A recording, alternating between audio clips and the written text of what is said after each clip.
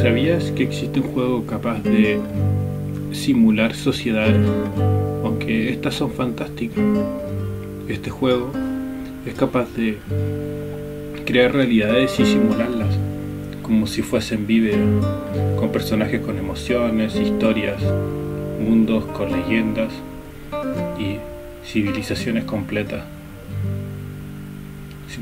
siendo capaz de simular las industrias y todo tipo de aspectos sutiles de la cotidianidad. Lo primero que puedes hacer en Fuerte es crear un mundo.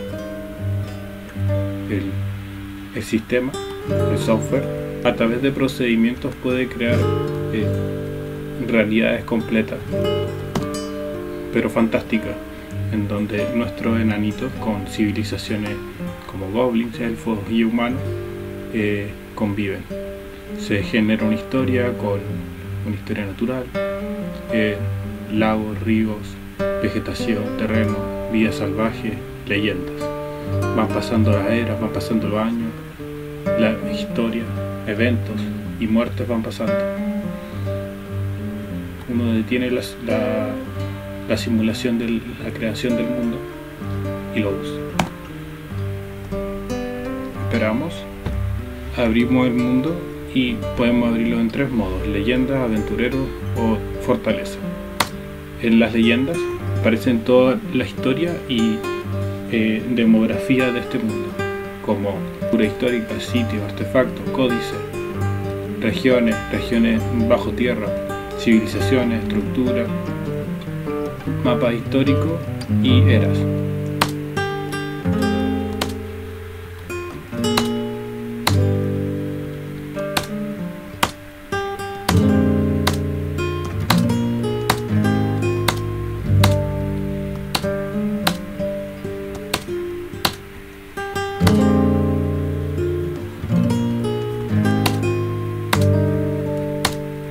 Podemos jugar modo aventurero y recorrer este mundo abierto eh, como si fuese nuestro. Hasta el calendario y elegimos nuestro personaje.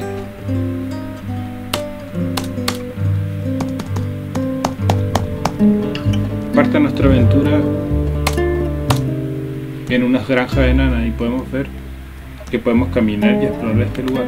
Incluso podemos interactuar con otros enanos y preguntarles sobre eventos de, su vida, problemas, y ellos nos cuentan sobre bestias, tesoros perdidos, sus valores, etc. Incluso podemos salir y viajar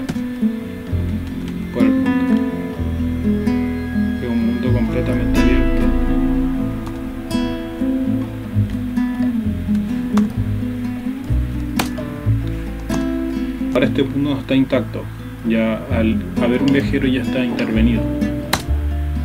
Ahora jugaremos modo fortaleza para ver cómo simula sociedades. Podemos jugar en dos modos, podemos embarcar para colonizar desde cero o podemos reclamar alguna estructura preexistente. Afortunadamente existe una fortaleza disponible Se arruinó el año 85, ah no, se fundó el año 85 y se arruinó el año 87, solamente siendo destruidas por la bestia perdida todas esas sofles. Es una fortaleza relativamente temprana, duró muy poco tiempo. Tiene un clima caliente, no tiene árboles, no tiene vegetación, pero es un lugar calmado. El suelo está hecho de arcilla y tiene metales profundos. El suelo es chico, eh, tenemos como vecinos humanos, elfos, enanos y goblins, que son peligrosos. Eh, podemos elegir nuestra civilización. Esto es importante para el comercio. Vamos a elegir la más grande. Entonces la vamos a reclamar. Hemos comenzado nuestro viaje. Como vemos los enanos están muy entusiasmados con el lugar. El lugar es frívolo. Es, es como un monte volcánico. Como podemos ver arriba a la derecha, el, la X va marcando los detalles, los detalles de este mundo. Existen muchísimos detalles. En cada, cada cuadrado tiene un detalle diferente, materiales diferentes, incluso plantas diferentes. Por ejemplo, aquí, este círculo, hay un libro. Se llama La historia de las criaturas. Codex de lápiz lazuli, de 56 páginas, de autoría de Method y es una taxonomía de las características físicas de las criaturas. La escritura es deprimente y la prosa es muy. Este es un lugar para que los enanos eh, muden las cosas desde la caravana que está aquí abajo. Por mientras van bajando las cosas de la caravana que está aquí abajo, podemos ver de que no solamente se maneja en dos dimensiones, sino que en tres dimensiones. Y, y tiene el mapa tiene, mismo tiene profundidad. Esta fortaleza, por ejemplo, que está abandonada, tiene, tiene un pique que va hacia la mina que está dentro, el campamento minero o estación minera. Pero no hemos llegado hasta allá. Quizás que monstruos hay abajo. Pero los enanos no tienen miedo, son obreros duros. Ellos están acostumbrados a la oscuridad y a vivir debajo de las minas. Como podemos ver, tenemos siete enanos iniciales.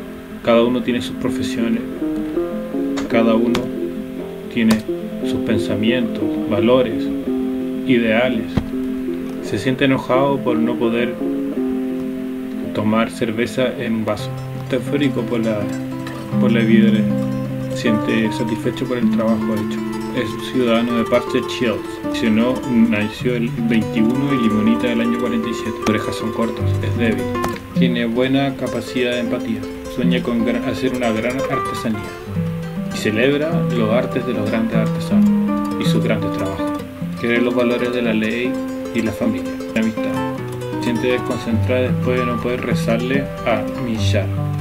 En, en síntesis, es una criatura de, de trabajo, tomar y industria. También ella tiene amigos cercanos en la misma fortaleza y otros. Seguir y está trabajando, está desembarcando las cosas. Digamos, podemos ver que tiene habilidades, diferentes tipos de habilidades, conocimiento. Pero en el fondo lo que la define es su mejor habilidad, ser minero. Vamos a ser jefa de una unidad de exploración. Le vamos a decir que vayan para abajo a explorar qué hay. Bajamos lo más al fondo posible. Le decimos que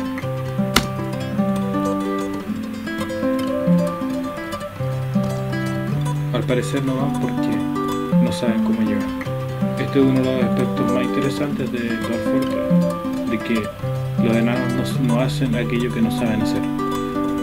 Tú les puedes dar la orden de cualquier cosa, pero no lo van a hacer si no lo pueden hacer si no lo saben hacer. Podemos ver que dicen de que la ubicación no es alcanzable. Dos enanos murieron a causa del ataque de un eh, sapo gigante. El lugar es inevitablemente peligroso. Acá hay otro libro, se llama La victoria de las sociedades animales, escrito por el mismo Mesfud y trata sobre comportamiento animal de las criaturas. Está escrito con tristeza y la prosa es pasable. Luego de la pelea con la con la rana gigante de caverna, los enanos conversan entre sí, se sienten amargados, se siente feliz. Otro día comenta, la muerte está alrededor de nosotros realmente aterrorizante. Odom Bakrup está realmente muerto. Estoy realmente vencido por el dolor. De Sim podemos ver que ella se siente horrificada.